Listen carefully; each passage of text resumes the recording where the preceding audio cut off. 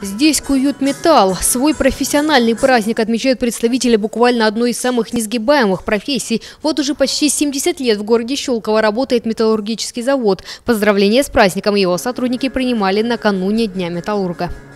Мне очень приятно, что в этом зале появилось больше молодых лиц. А это значит, что, уважаемые металлурги, вы передаете свою профессию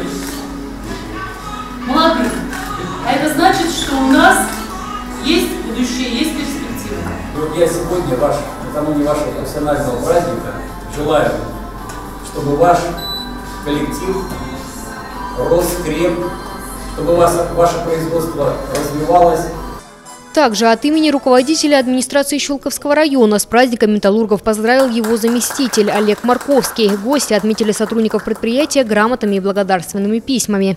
Благодарность от Министерства промышленности и торговли Российской Федерации получила Елена Стенькова, представитель непростой, не женской профессии, инженер-энергетик. Она отдала работе на этом заводе 25 лет. Уверяет, все эти годы работала на совесть.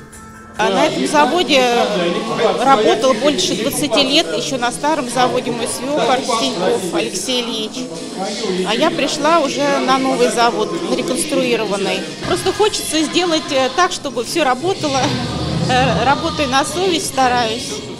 Территория завода порядка 12 гектаров. Огромный потенциал для производства. Современной непростой экономической ситуации руководство завода планирует ориентировать его в первую очередь на импортозамещение. Охотно сотрудничает с властями Щелковского района, выпуская востребованные в благоустройстве малые формы от турн до велопарковок.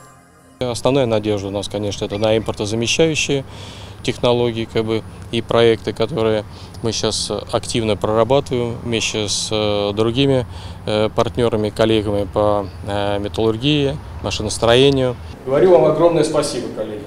Огромное, просто человеческое, как бы спасибо за то, что вы сохраняете это, что вы это любите и что вы верите, что завод все-таки возродится. Александра Гранич, Михаил Черепанов, телерадиокомпания «Щелково».